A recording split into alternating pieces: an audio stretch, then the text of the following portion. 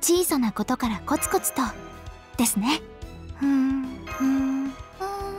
慣れた頃ほど油断しやすいもの。受け取り忘れにはご注意くださいね。先輩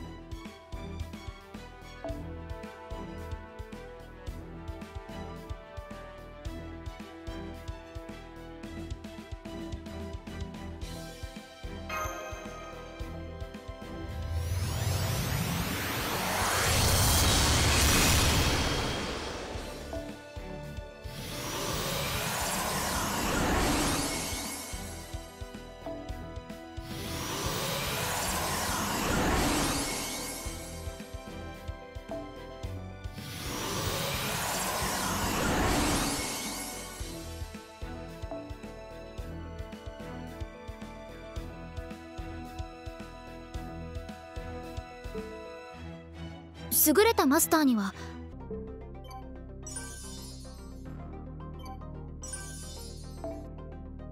この時期日本の水田ではカエルの声が聞こえてくるそうですね。何でもパートナーを探せます。あいえ私が今そのように思ったというかとにかく小さなことからコツコツとですね。一歩一歩着実に前進していきましょう。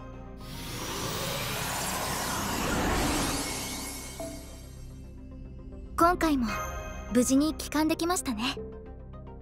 優れたマスターには幸運がついて回ると言います。